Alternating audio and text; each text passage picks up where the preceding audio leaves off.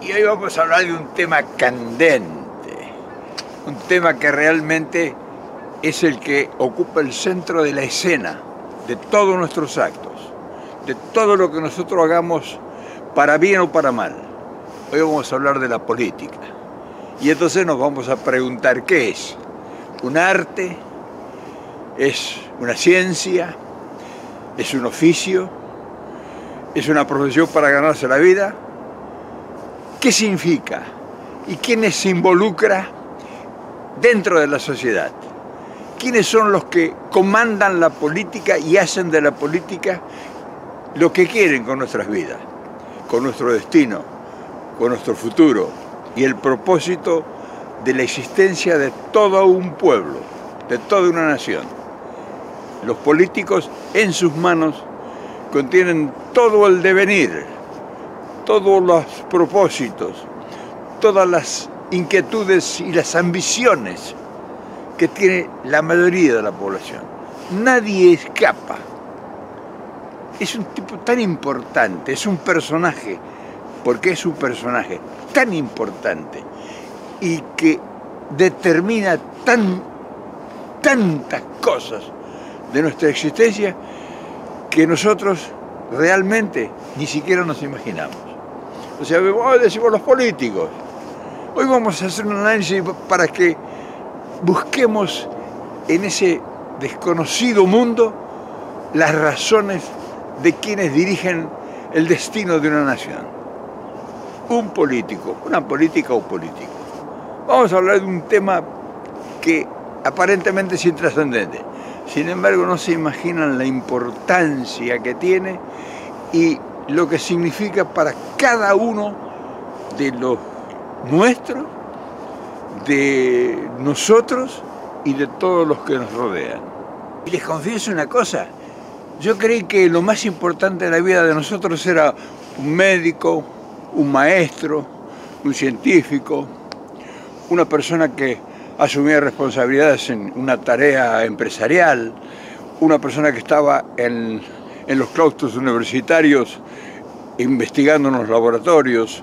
O sea, yo creí que había un montón de gente demasiado importante en la vida que merecía cada uno una atención específica, un respeto y una admiración. O sea, siempre lo creí eso, que, que había gente demasiado importante en todos los órdenes y en todos los medios que realmente debieran ser tenidos en consideración porque significaban una cosa de trascendencia en, en el quehacer cotidiano nuestro. Sin embargo, si lo comparás con un político, quedan todos en segundo plano. Es increíble.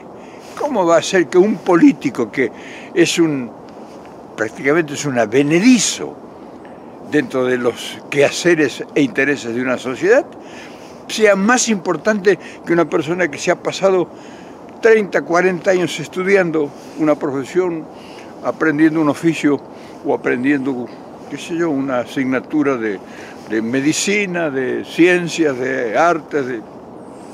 No, un político que hace una trayectoria de su carrera se convierte en la persona más importante, no de un sector, sino de una, de una nación, de un pueblo, de un país. Y tiene tanta y determinada importancia todo lo que esa persona, ese personaje, ese individuo haga, que depende de la familia tuya, depende de tus proyectos, depende de si vos vas a poder eh, proyectar la vida de tus hijos, si vos vas a tener la posibilidad de cumplir tus sueños, realizarte como ser humano en cuanto a empresario, a científico, a en fin, el que dediques y si tendrás comida en tu mesa y si tendrás ropa para vestirte y casa donde vivir y todo lo que te imagines depende de un político, de un político que puede transformar la vida de un país en un proceso relativamente corto, cuatro, cinco o diez años, pero también puede construir para bien o para mal.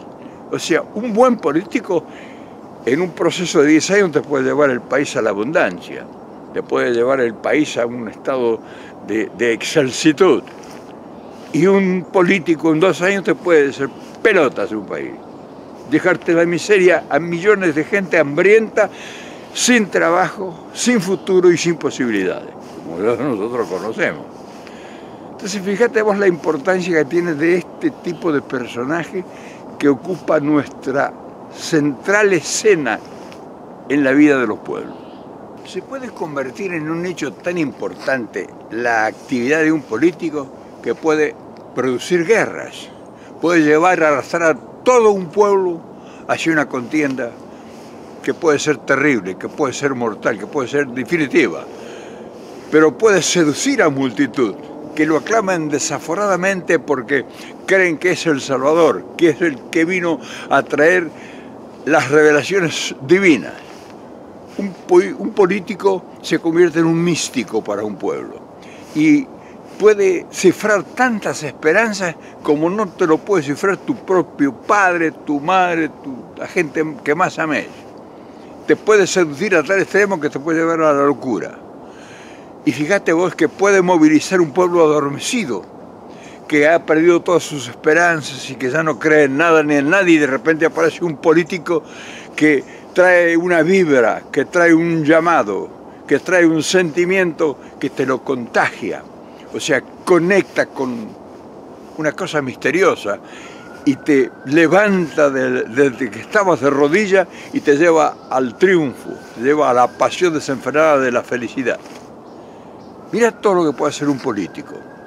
O sea, estamos hablando de que un político es un predicador, es un místico, sin saberlo, sin querer serlo. Y cuando un político es bien inspirado, puede producir la obra más grande de grandeza para una, una comunidad. Puede organizar la comunidad o puede destruirla. Puede llevarla unida en una forma impresionante como no lograría nada ni nadie puede generar amor, pasiones desenfrenadas. Fíjate todo lo que puede hacer un político. Y puede producir un grano de tristeza, una tristeza que puede llevar el llanto a millones de personas si ese político hace algo que realmente eh, traspasa todas las, las barreras de la realidad. Cuando murió Perón la gente lloraba en las calles. Fíjate lo que es.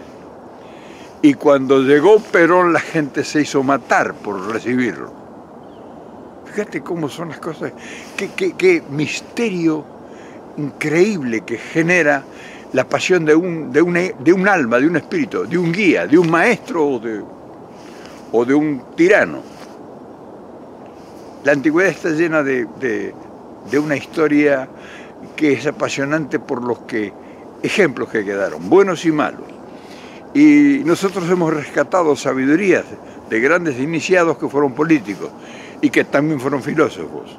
Por ejemplo, Marco Aurelio de Roma, o por ejemplo Licurgo en Esparta, o Platón, que era un, filósofo, pero era un político.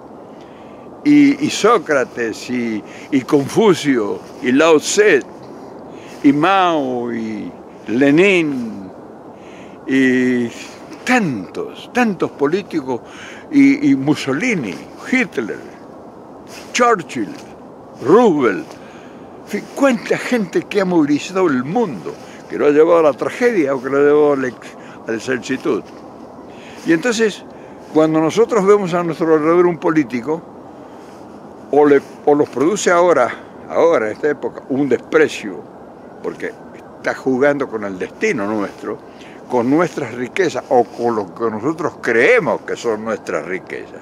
¿Quién sabe si son nuestras riquezas? Porque si fueran nuestras riquezas, las defenderíamos con más pasión. Es decir, por ejemplo, nosotros argentinos decimos que nos han robado las riquezas o que nos llevan los extranjeros, los invasores, los, los malditos, nuestras riquezas. Y entonces, si viene un político y te pregunta, ¿Has tenido suficiente pasión para defender tu riqueza? Y te demuestras que no, que no lo hiciste. Solamente a un político le crees lo que te dice. Si te lo dice tu padre o tu madre no le vas a creer. Si te lo dice un maestro, si te lo dice un guía espiritual. Pero si te lo dice un político te va a enervar y vas a salir enloquecido a la calle a gritar y a romper todo. Porque te está diciendo que, están, que te han llevado tus riquezas y que vos no has hecho lo suficiente. Fíjate la importancia que tiene un político, o es decir, la política. Pero fíjate una cosa, de todos los extraños que te rodean en el mundo, el único que entra a tu casa sin golpear y sin que vos les, abras la puerta es el político y se sienta en tu mesa. Y cuando comes tus alimentos, el político está a tu lado, porque todo lo que vos hagas en tu mesa conversando con tus seres queridos está la presencia de un político invisible que guía todo tu proceso. Es el tipo que llevas casi a tu cuarto, a tu intimidad. Es la persona que tiene la magia de penetrar en tus sentimientos.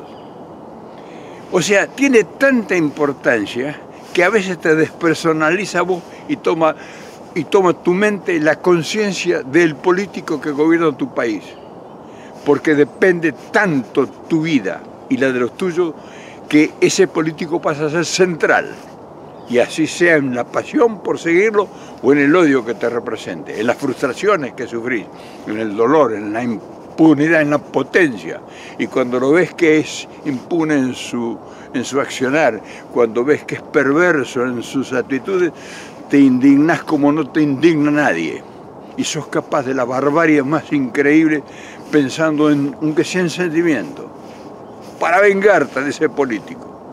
O sea, un político lleva a copar o ocupar toda tu vida, nuestras vidas. Y entonces, por eso te das cuenta la importancia que tiene un político y el valor que nosotros le hemos asignado a un personaje desconocido, que despierta pasiones u odios desenfrenados. Y entonces cuando uno dice, bueno, entonces cómo hacemos para diferenciar el buen del mal político y para que no creerles demasiado a todos o creer al que es bueno y negar al que es malo. Y ese es el misterio.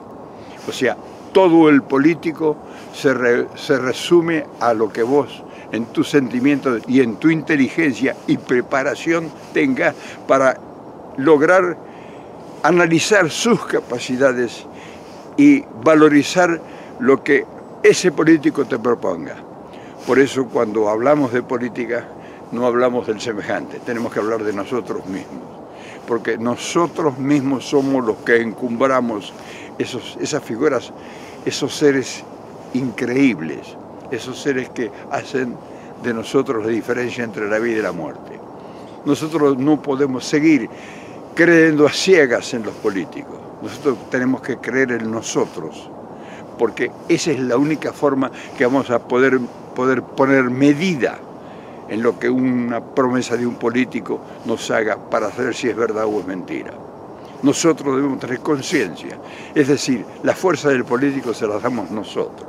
Al final venimos a descubrir que sin nosotros el político no existe. Fíjate vos cuánto que hemos analizado para darnos cuenta de una amarga y desconocida verdad. Pero fíjate que ese poder omnímodo que le damos, ese poder extraordinario, hemos descubierto que no es del político, que no es el embrujo de él, que el misterio no está en él, sino que el misterio está en el espejo que nosotros creemos conformar con él, con su presencia. Pero la verdadera fuerza, o sea, lo que realmente lo hace a ese individuo, a esa persona, que sea todopoderosa no es su fuerza, sino es nuestra fuerza, que Él sabe captar y que sabe conducir y administrar y utilizar para bien o para mal. Por eso en el futuro nosotros tenemos que saber que la política somos nosotros, que la fuerza somos nosotros y que ese político es nuestro espejo nosotros podemos vernos a nosotros o podemos ver a otra persona que nos represente si nosotros no tenemos la capacidad suficiente para administrar nuestro poder, nuestra fuerza. Porque la fuerza, te lo vuelvo a repetir, somos nosotros. Nosotros somos los que hacemos esos líderes. Ahora bien, hay líderes brillantes, maravillosos que nos interpretan y nos superan en sueños y en proyectos sin ideas. Y entonces ahí se manifiesta el poder nuestro. Por eso la unidad de nosotros puede hacer que no nos equivoquemos cuando elijamos a alguien que nos conduzca a nuestros destinos porque nosotros con nuestra fuerza generamos esa corriente extraordinaria que se refleja en un político que, conlleva todas las esperanzas nuestras.